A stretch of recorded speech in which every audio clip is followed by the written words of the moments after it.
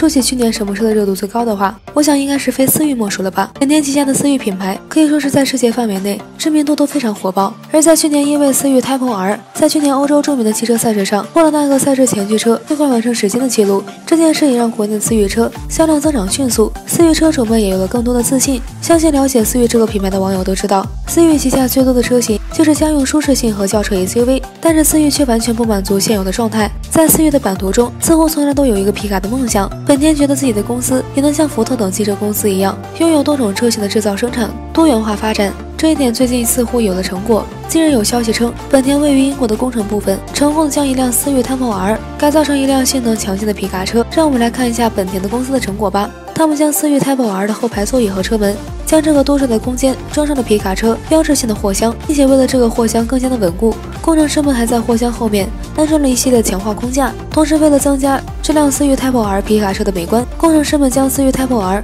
最具特点的车尾尾翼保留了下来，车尾的三帽筒式的排气筒设计也让这辆车看起来霸气十足。这样一来，这款改造后的皮卡无疑就成了世界上第一无二的带尾翼的皮卡，也是颜值最高的皮卡车。在动力方面，这辆车依然保留了思域 Type R 2.0T 强性能的涡轮增压发动机和六速无级变速箱的组合，百公里只需5.7秒。本田公司准备将这款改造后的皮卡也带到了北环赛道上，看看这辆车是否会延续思域 Type R 前驱王者的成绩。虽然不想当皮卡的思域不是好 Type R 啊，大家对这辆思域 Type R 皮卡车有什么看法呢？